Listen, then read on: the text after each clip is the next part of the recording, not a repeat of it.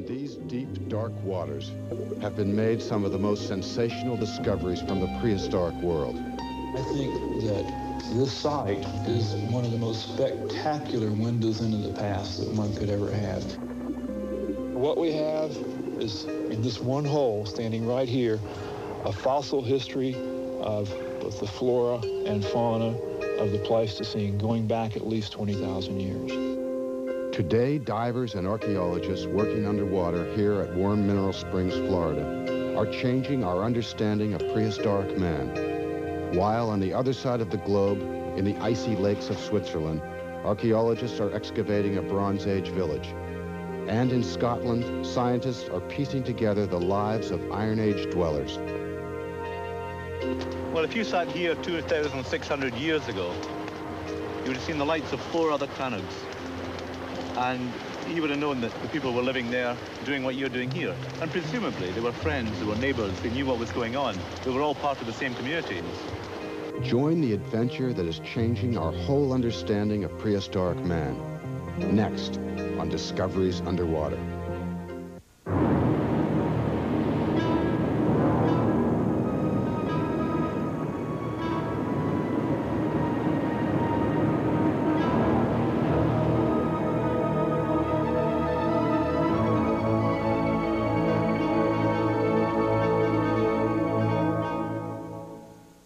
Discoveries Underwater is made possible in part by a grant from the DuPont Company. DuPont, better things for better living. And by this and other public television stations.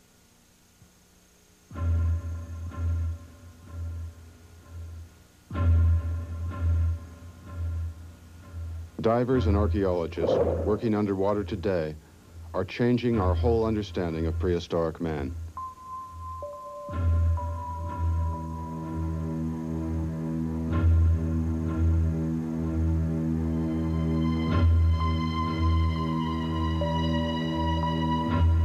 Information is now being discovered of a world far more sophisticated and organized than had previously been imagined.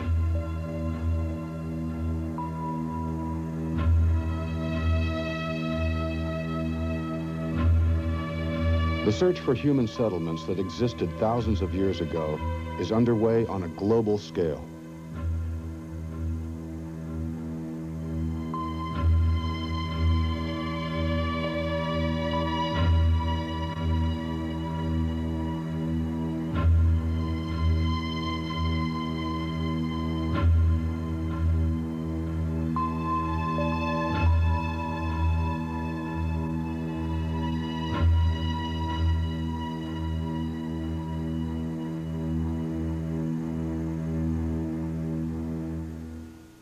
We have chosen just three parts of the world to show the variety and extent of the work going on. North America, Switzerland, and here, the Central Highlands of Scotland.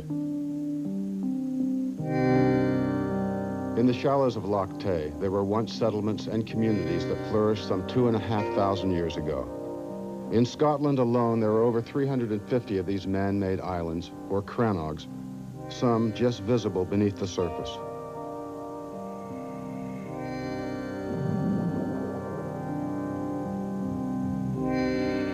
Here, at Oak Bank Crannog, 50 yards from the shore and beneath a large pile of stones, is a late Bronze Age house.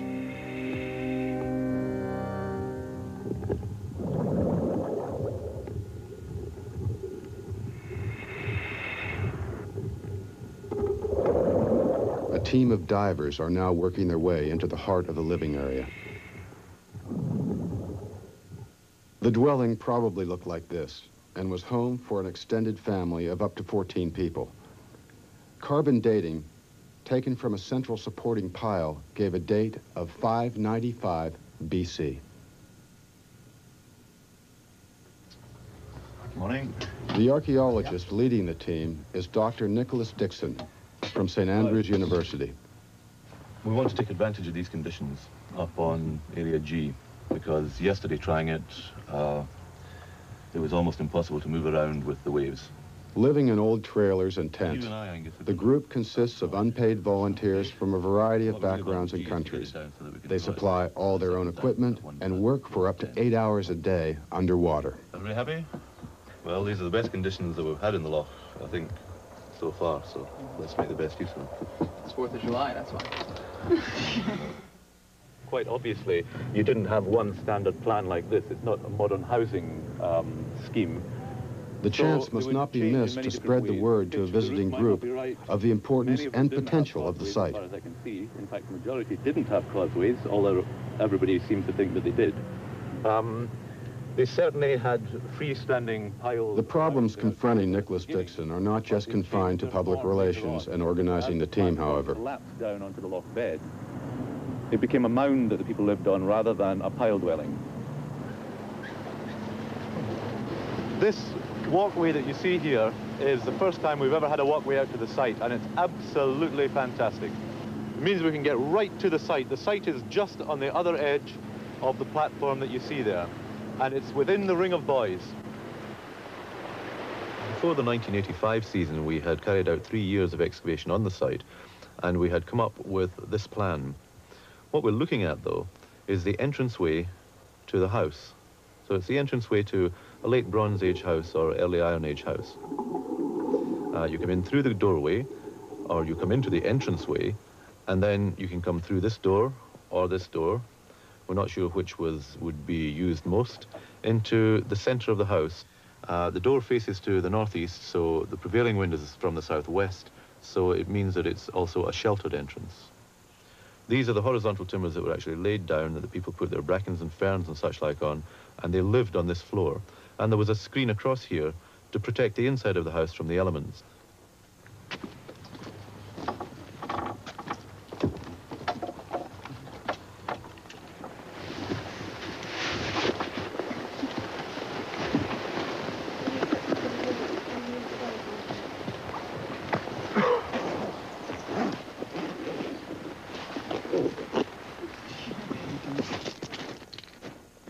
For five years, the work has been restricted to a few weeks in the summer. Money is the biggest handicap. A prehistoric land site attracts little enough attention, but when the site is hidden underwater, gathering funds becomes a real problem. The budget for this excavation is around $900 a year. The first task for the divers is to remove the covering of stones. With a rubber boat and an old bed frame, they have developed a kind of ingenious aquatic dump truck.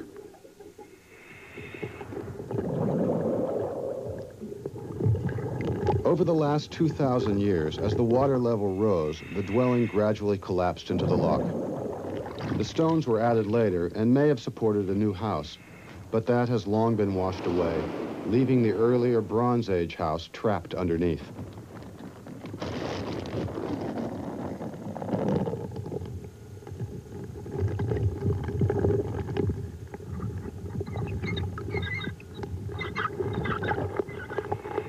Once the stones have been removed, the precious organic layers are revealed, preserved by the peaty waters of the loch. It's that preservation of even the most fragile material that makes the excavation of prehistoric sites underwater unique.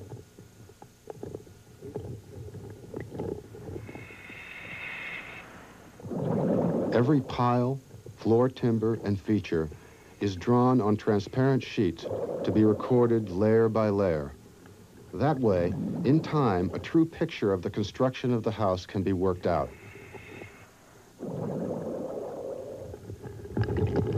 Was it a defended farmstead?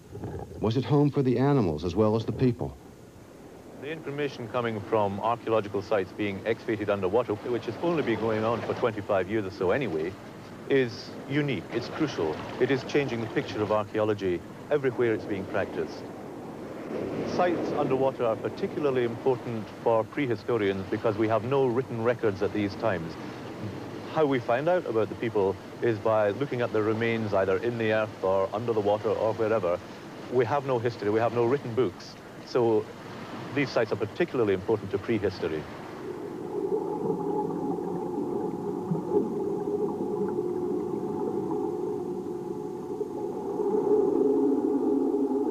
Underwater, the wood looks just as it did when it was cut down.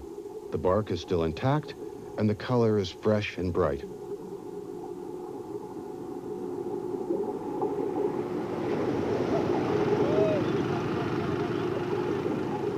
But all that changes when it is exposed to air. Unless the wood is kept wet, it will quickly crack and fall apart. Uh, what should I put, put them underneath the There is another more instant transformation. Break a piece in two, and in 40 seconds, the orange heart will turn gray and then black.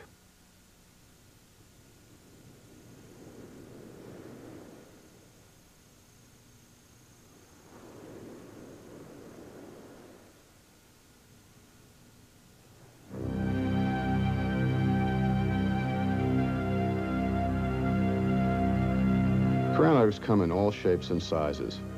There are 18 in Loch Tay, many within sight of each other.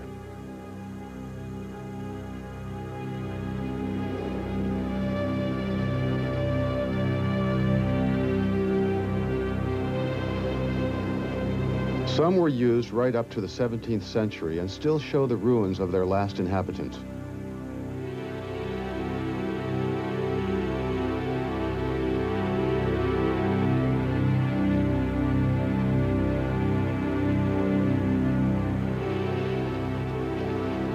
One thing they all have in common, every stone and rock that make up these islands was put there by man.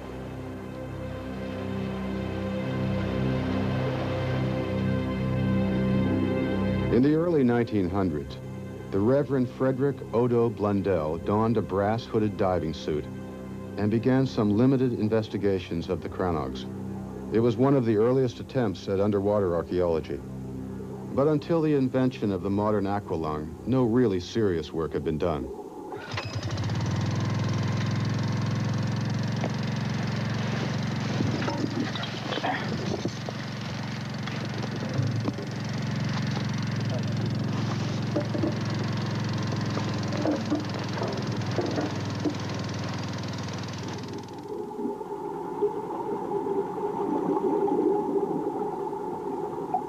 Excavation of fine organic material is a delicate, painstaking process.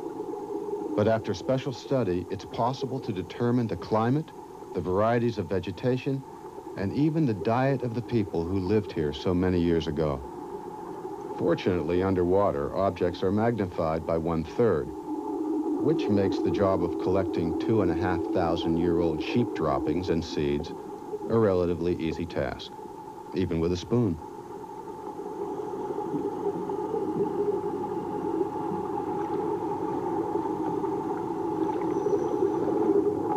There is one overriding problem that threatens the site and its delicate fabric. The prevailing southwesterly winds can kick up a choppy sea. If the water starts to move, loose objects can be broken and washed away. If it rains, hails, or snows, that's fine. The only thing we can't really take is water movement like this. They're not very big waves, but they're very choppy waves, and we're only working a meter, a meter and a half from the surface. So people are actually being swept backwards and forwards across the organic material that we want to find and we want to very delicately excavate.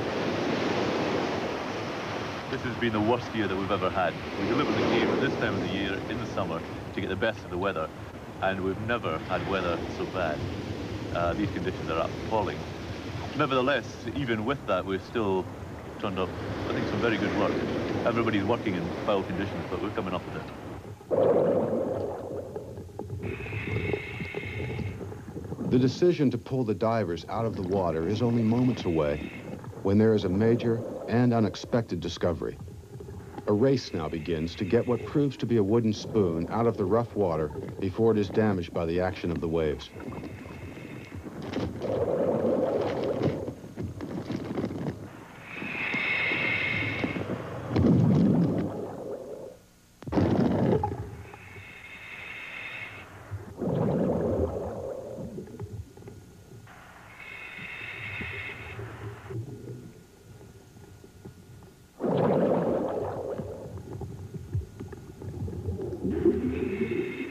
Water was very, very rough at that time, and I brought it up in a large blue plastic container.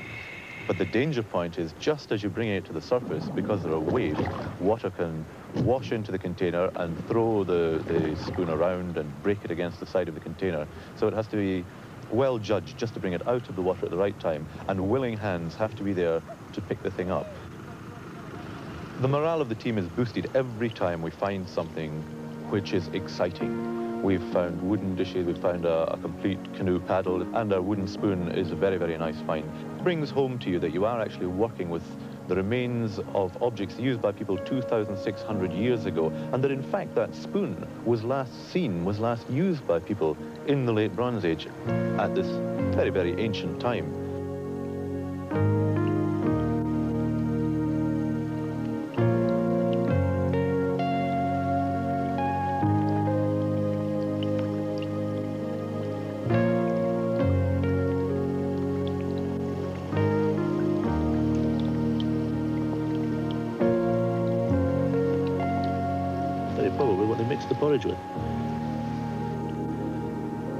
As far as finds and their importance on the site, archaeology is not about finds. They're very important because they tell us about the people.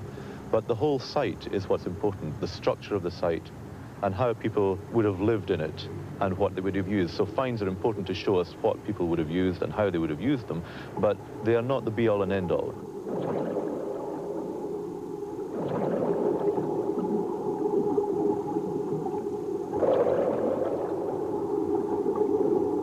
The excavation of one of the main supporting piles with all of its axe marks intact shows the ability of these early people to shape and build a sophisticated dwelling. We now know the climate was not so very different from today. There were cherry trees, firs and alder. People kept cattle and sheep, grew cereal crops, ate the cherries and cooked the meat, and even stirred the soup with that large wooden spoon.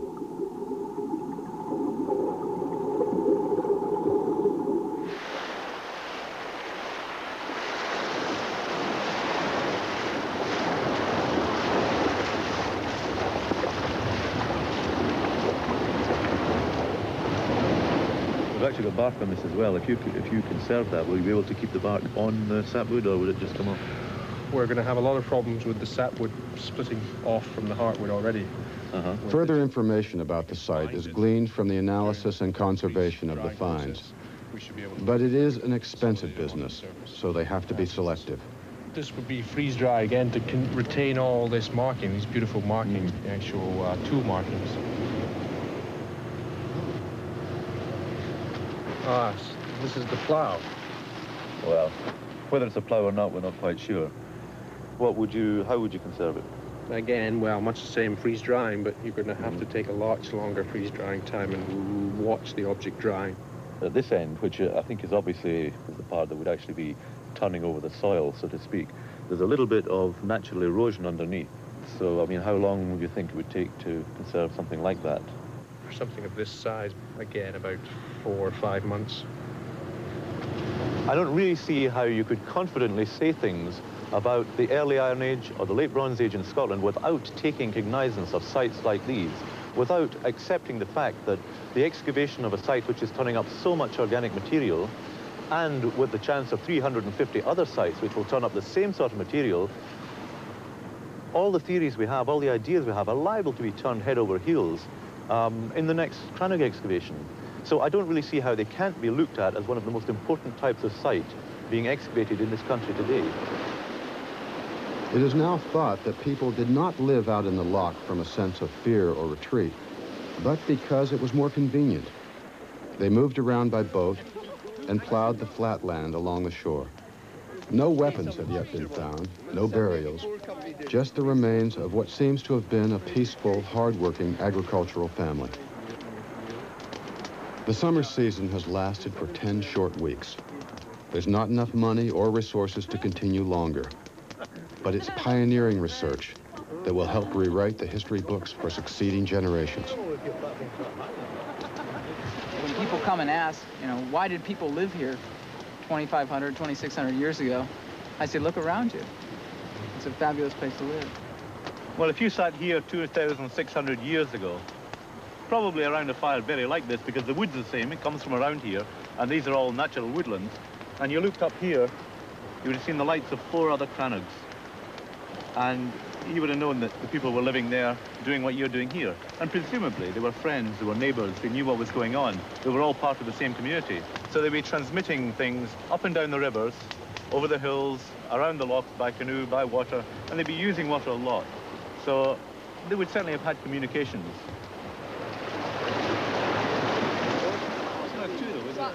An earlier society that definitely had far-reaching communications and even trade existed around 5,000 years ago.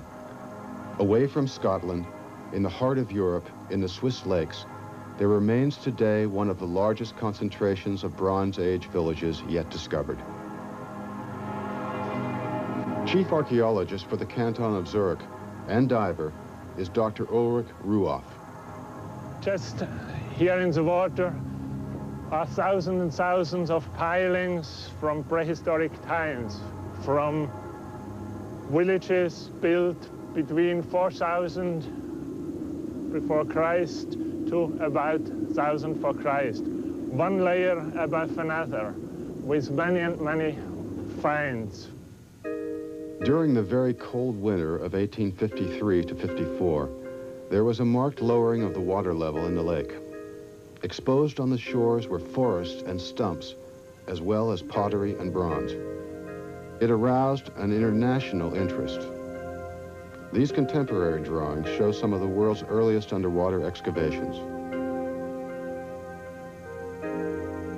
The villages spread all around the lake, supporting a large industrious population. At some time, the people left and the settlements were lost. For centuries, they remained hidden and undisturbed.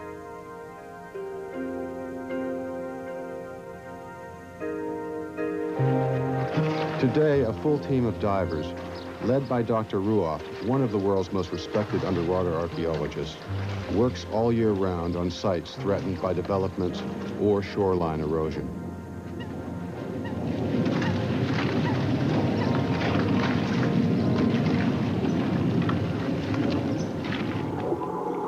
Under the ice, lines of pilings mark the foundations of a large village as yet untouched.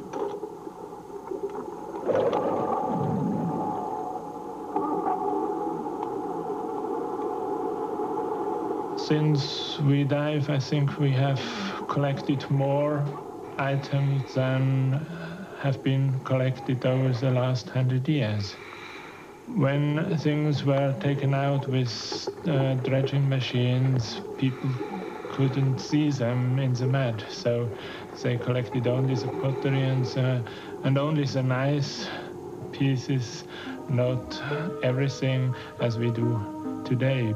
They didn't think that everything speaks something about the life in the past. The finds, like this votive offering and these ornamental cloak pins, are the most spectacular and complete record of the Bronze Age.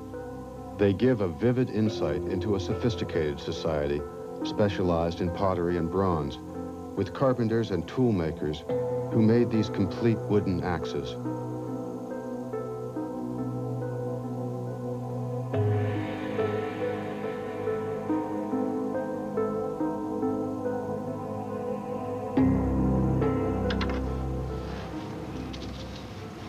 Dr. Ruoff and his team have collected so much pottery, and some pieces are enormous and found complete, that they can fill many warehouses and museums. Unlike Nicholas Dixon in Scotland, the technical and financial backup made available in Switzerland enables a team of technicians to work full-time, cataloging, recording, and reconstructing every artifact and scrap of information.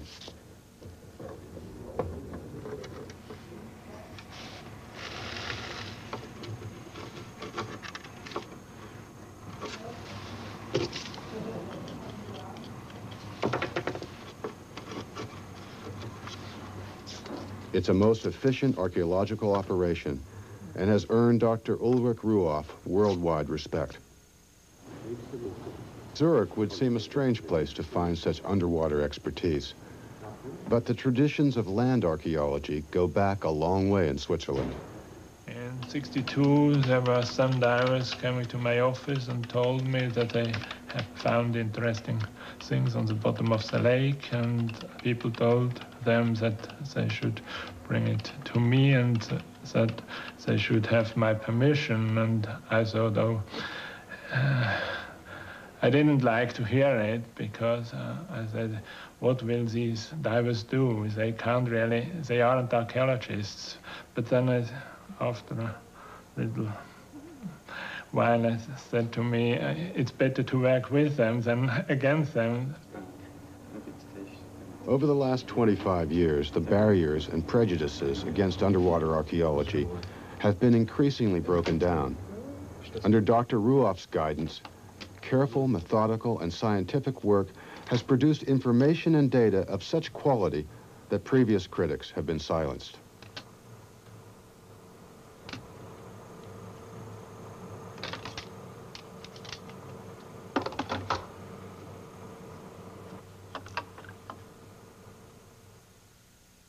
Work never stops. With increased pollution in the lakes, the reed banks retreat and the water eats away at the silt. In this way, new sites are found all the time. Here at Greifensee, a small lake eight miles from Zurich, a Bronze Age village of at least 16 houses has been uncovered. But with the lake frozen solid, the divers can't get to the site. This ice is too thin to walk across and too thick for a boat. But as soon as there's a break, they'll be in.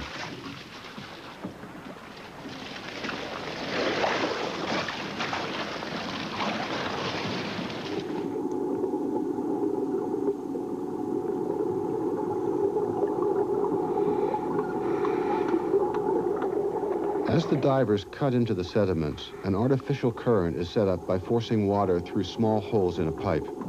It helps to draw the disturbed silt away from the site and keeps the water clear.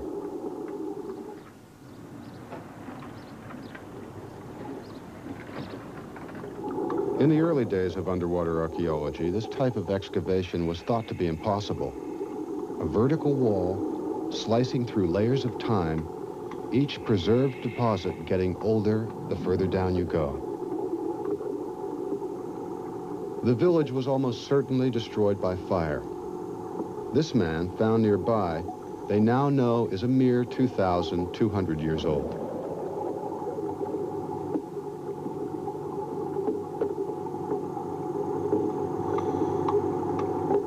With such a confusion of pilings, it was impossible to make a realistic plan of the village until the Swiss developed an accurate system of dating. Now, by taking samples from every pile, they can tell precisely the year and even the month the tree was cut, and so plot out the piles of the same age.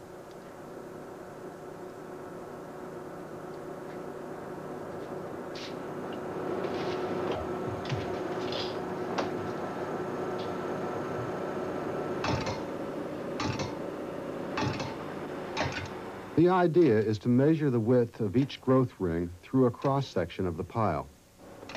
The width of the ring will vary according to the weather conditions during the growth period of the tree.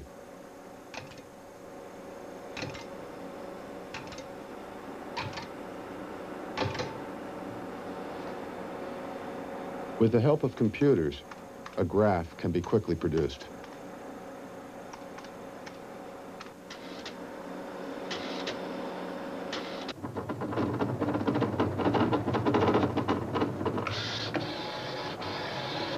By matching that graph to a whole series of graphs representing several centuries, the sample can be matched within a time scale.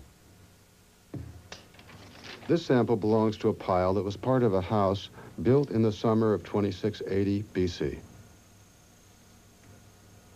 I think uh, there will be uh, still a great progress.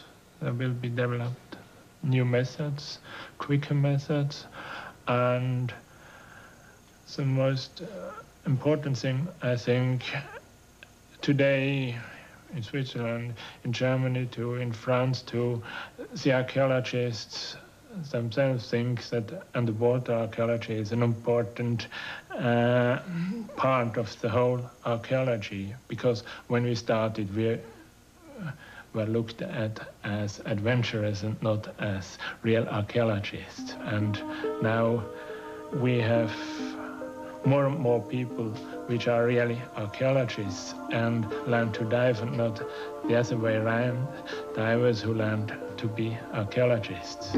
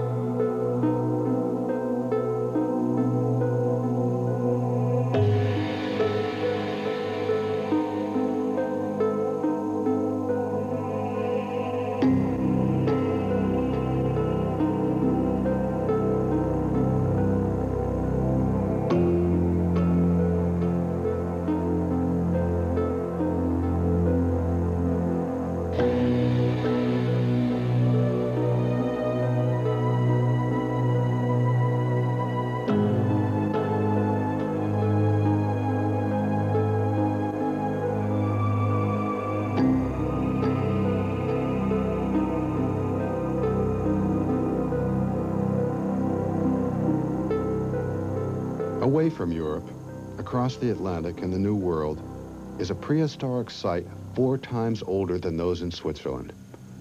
A site stretching back more than 20,000 years. On the northwest coast of Florida is a 250-foot deep sinkhole called Warm Mineral Springs.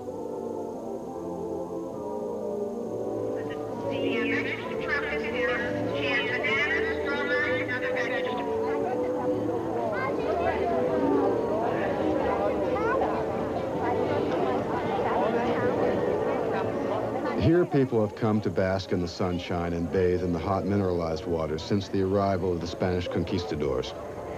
Today, they still come, mainly retired Middle Europeans, believing, as others have before them, in the rejuvenating power of the spring.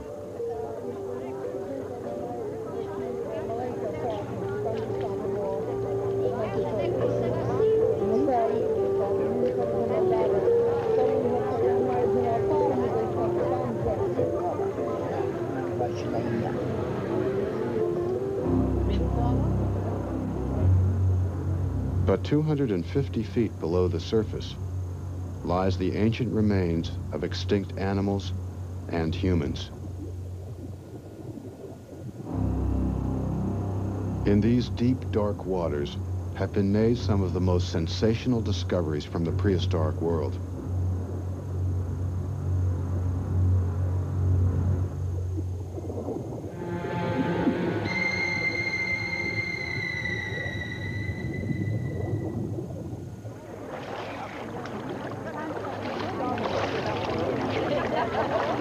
This man, retired Air Force Colonel William Royal, was the first to find human remains. Today, he is 80 and crippled by a diving accident while exploring at the bottom of the springs. Once, Colonel Royal was at the center of a controversy that turned the archaeological world against him. It was in 1959 that an American TV company, attracted by William Royal's story, sent a Navy diver with a camera down into the springs to record the colonel's discoveries.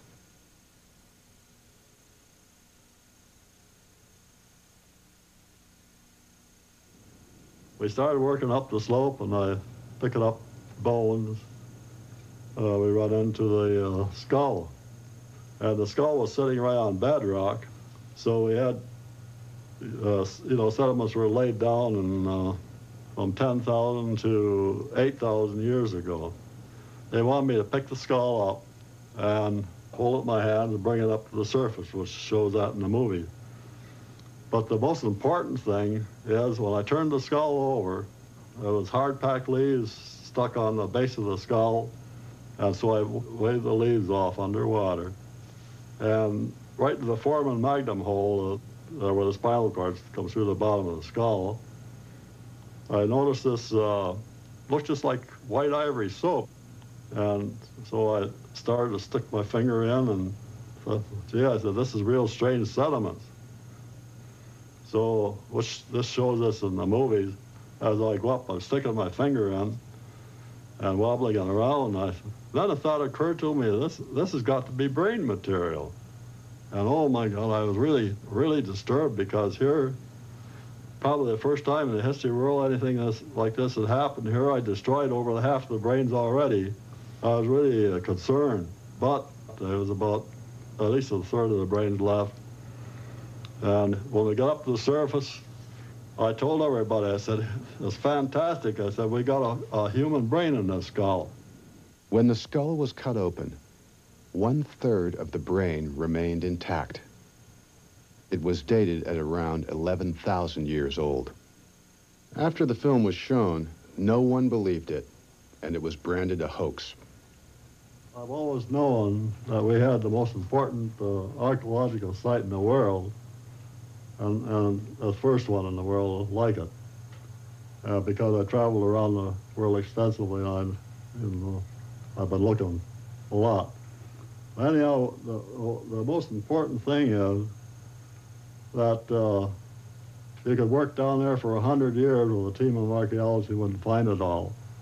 But we expect to go back. We've already gone back about 12,000 years in time, and uh, we should go back 15, 18,000 years as possibility with humans.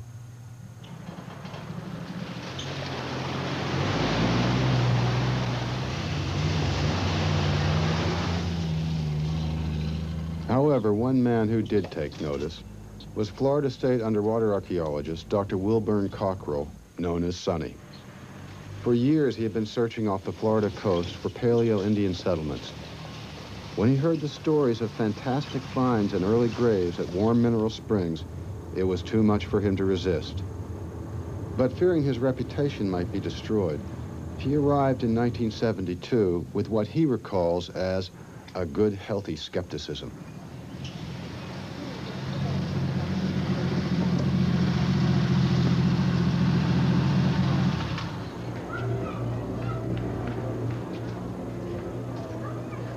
Was rather skeptical about it when I first came here because for 10 years the archaeological profession had been discussing this as, a, as one of the most significant frauds in American archaeology.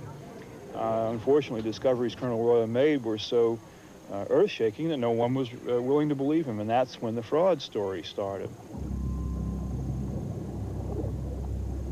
It's a very eerie dive, a first-time dive, or maybe even a second or third or 20-time dive. It's, it's a very, very strange place to dive. In the morning, it's clear, and in the afternoon, the water turns murky because it's photosensitive.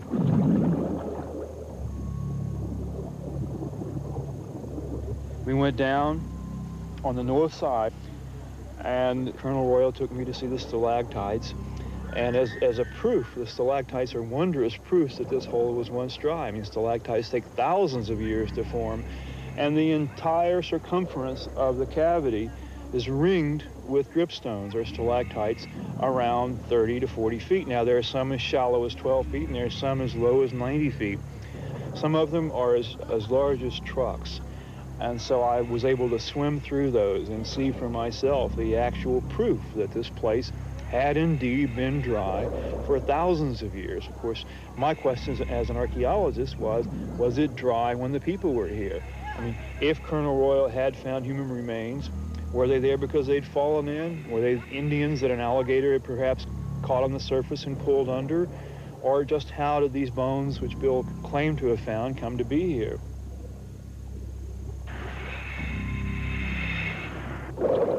As you go in as a diver, this hole uh, slopes down and then drops off suddenly and becomes a giant hourglass.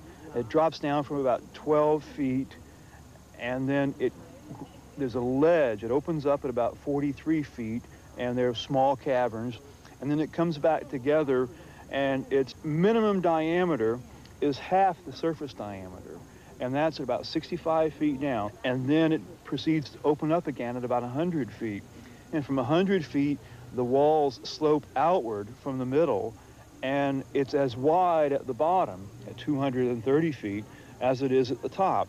So we have a situation of, of an hourglass here. And at the bottom of the hourglass is a cone, just as we'd have in the center of an hourglass. that cone we hit in the center at 124 feet below the present day surface. It's the cone that holds the secrets of the springs. Whatever or whoever fell to the bottom will be there below the layers of accumulated debris, preserved by the bacteria-free water. But to excavate at this depth is both difficult and dangerous. Having satisfied himself that the site was legitimate, Sonny Cockrell gathered together a team of scientists, divers, archaeologists, and a video system to record and demonstrate the potential of what he felt was one of the most important archaeological sites in the world. Oh, we've got a beautiful picture. That's always been one of the criticisms of uh, underwater excavation, is that you could not excavate stratigraphically. As you can see, that's absolute bullshit. With limited funding, the work went on for five years, until the state suddenly closed down its vast underwater program and the money ran out.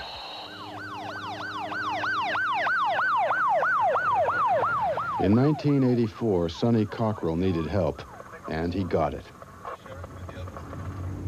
166 Sarasota. I'll be 10-8, about 10. Deputy Sheriff Skip Wood, having completed a master's degree in archaeology, volunteered his services and became part-time dive master and assistant archaeologist. Florida tag 241 Z Zebra J John H Henry.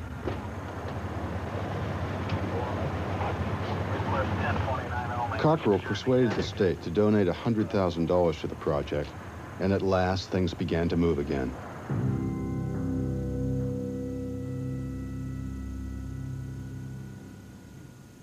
If you want mesh or you want Cordura, the Cordura is more expensive, just a couple dollars.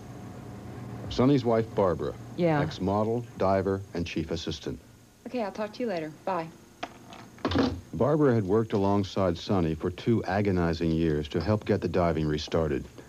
Living and working in a small apartment a mile from the springs, the Cockrell's life is now completely taken over by the project. The man hours that we've had to put in because of the limited staff are just incredible, and the amount of work that we've laid out to do this project properly is, is just too much that can be handled at any given amount of time. And so we, we're all pretty um, overworked, but we're all dedicated, and we're all just hanging in there with it.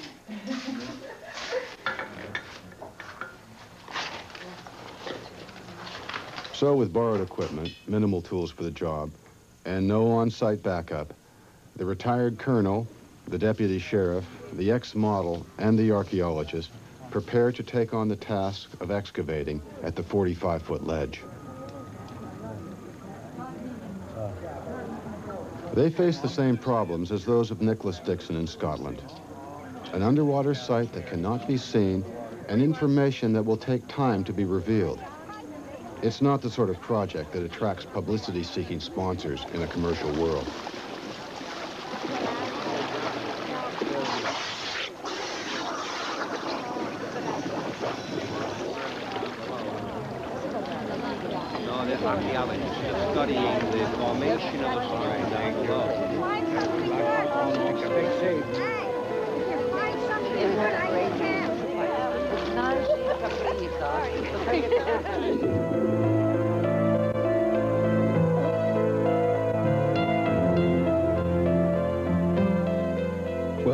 Thousand years ago, the water level was 90 feet lower than it is today.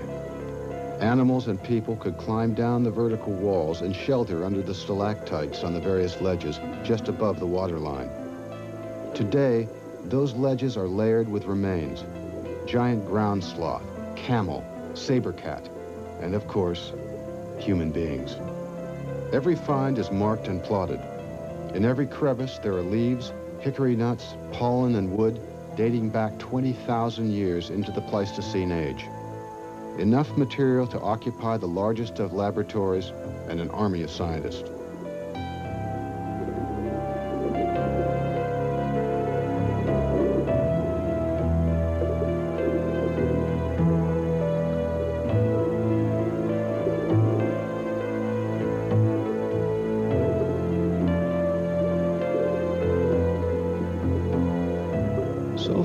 Cockrell has accounted for a total of 20 separate skeletons. One in particular interest was the earliest intentional human burial found in North America. With the remains was a very unusual find. Well, this is made of carved shell, carved from the central column of a whelk, our marine uh, gastropod. This was the hook for a spear thrower. It, when found, still had the original black pitch on the bottom. Uh, it was uh, glued to the end of the throwing stick and then lashed on. This was the far end. The stick was about this long. And we did not find the stick, unfortunately, with burial number one. But this is the earliest evidence of the use of a spear thrower in all of the Western Hemisphere. And it's found with the burial at 10,240 years ago. With this spear thrower, or the Aztec word for it is atlatl, uh, an Indian could stand here and kill at great distances with great force for the first time in, in the history of humanity.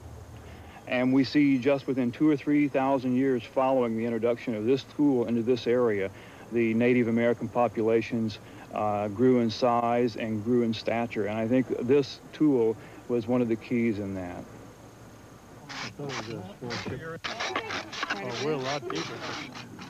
If the people were here burying their dead, where were their settlements?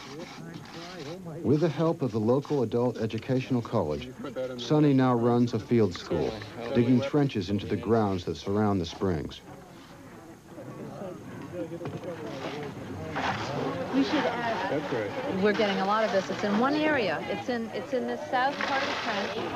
Oh, okay, tough. you are in. Oh yes, yeah, it's really okay. tough.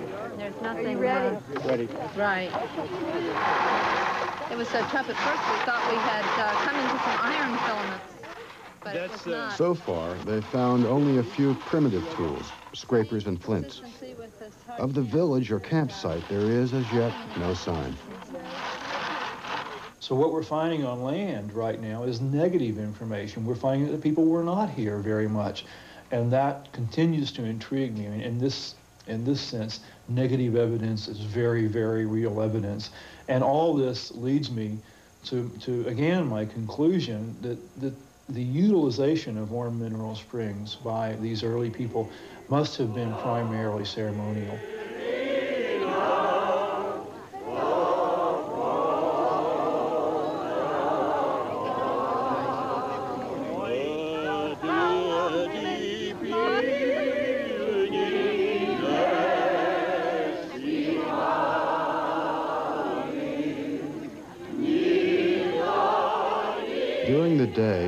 Hard to imagine the springs as a ceremonial burial ground.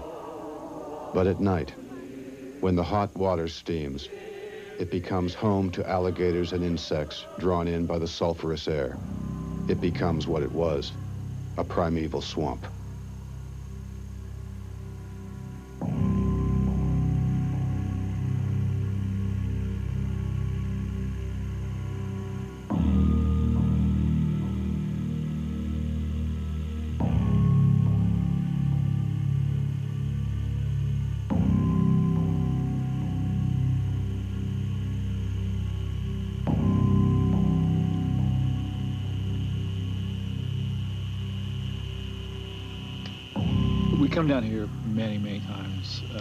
Daytime, night, ideally. Uh, we, we love to come here when there are people here, but, but most of all, we love to come here when it's just, just ours, just to us.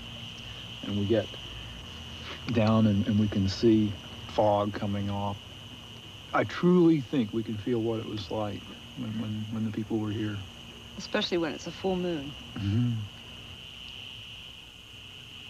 Sometimes I'll be down here, particularly when I'm just walking alone and think, well, there were trees 150 feet tall here then, and I can walk down and just worry about mosquitoes. And back then, you'd have to walk through here and wonder about the saber cats. Where were they? Um, we'd be sad. We'd be very, very sad if, if we had to leave. I, I think it's urgent that we save this place. I would love to be able to do research as well, but primarily I want to save it, and that's where our efforts are directed now.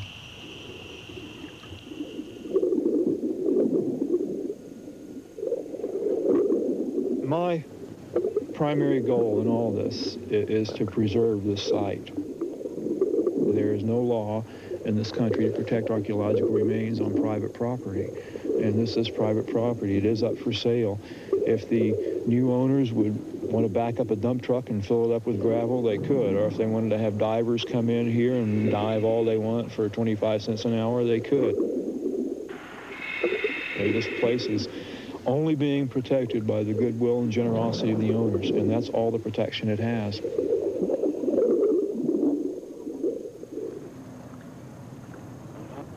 God. you had fun with your equipment. You get a feminine regular.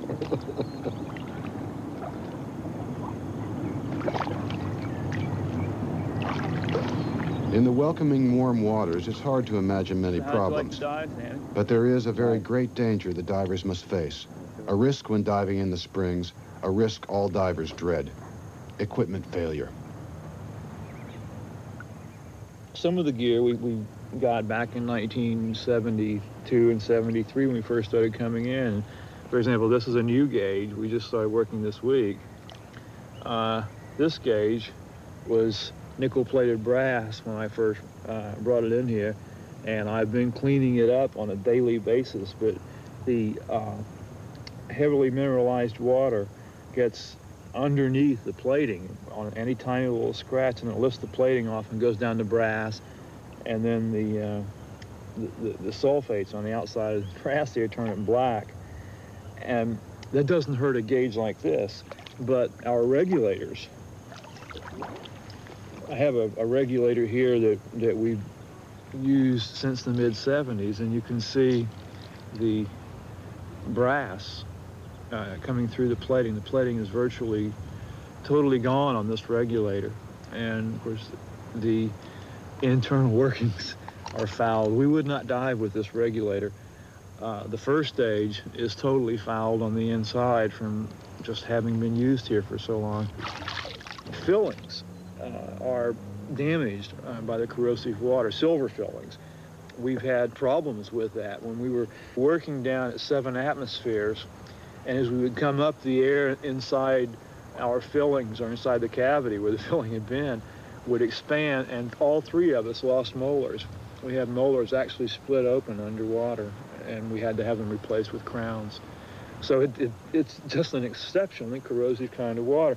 The, the biggest problem is, is the danger just from something like this, from a piece of uh, corroded equipment.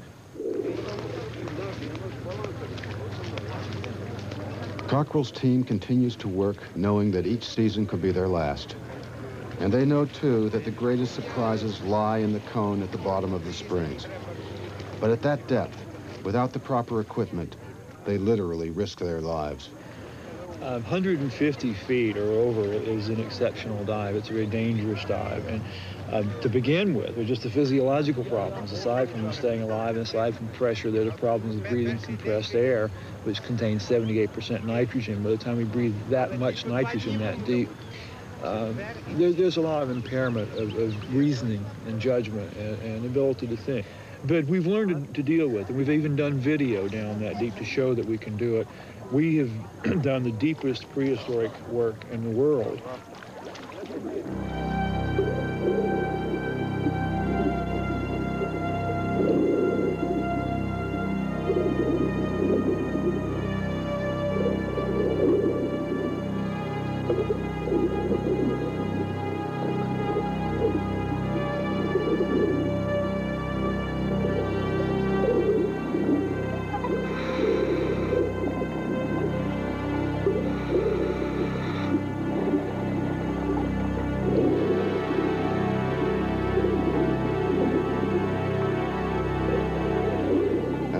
Leave the vertical wall, they follow a line and a compass course down into the darkness.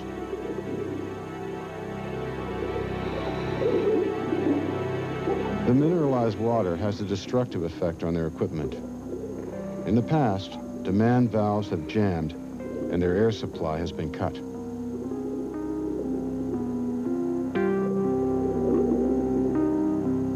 The cone, with its deck chair, looms up like a mountaintop. They have only 20 minutes to excavate a small trench on the side of the hill. It's hard work breathing air at six times the normal pressure, and the sides of the trench are in danger of collapsing onto the diver.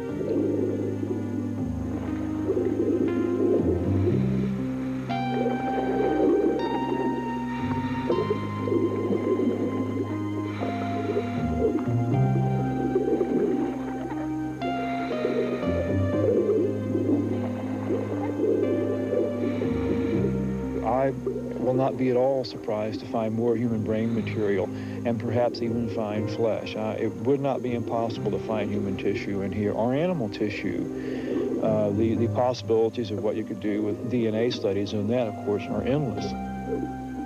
I think that this site is one of the most spectacular windows into the past that one could ever have. We can travel back in time here. We don't have to imagine what the world was like 10,000 years ago, 20,000 years ago. When we get the analysis done here, we will know. There's no reason that we shouldn't have the same preservation here that you get in the Danish peat bogs. We have the same situation. We have an anaerobic peat. So what we have is, in this one hole, standing right here, a fossil history of, of the flora and fauna of the Pleistocene going back at least 20,000 years.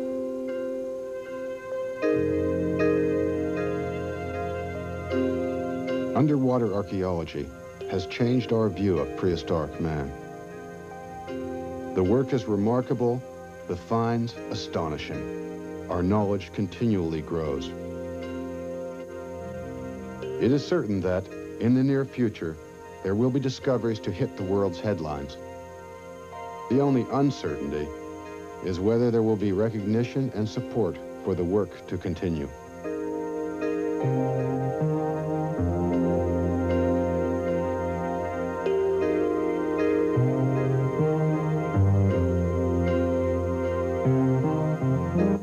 Next on Channel 2, At Home on Earth, followed by some good cooking as Boston Globe food writer Sheryl Julian visits with two Brazilian chefs. The name of the show, Cook's Tour. It's brand new and it's just a half hour from now, so stay tuned.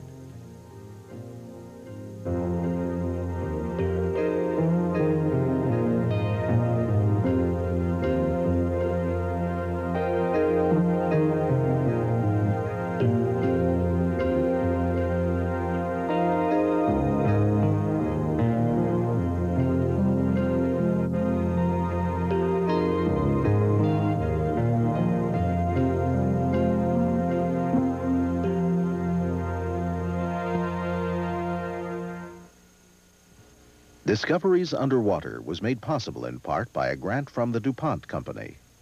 DuPont, better things for better living. And by this and other public television stations.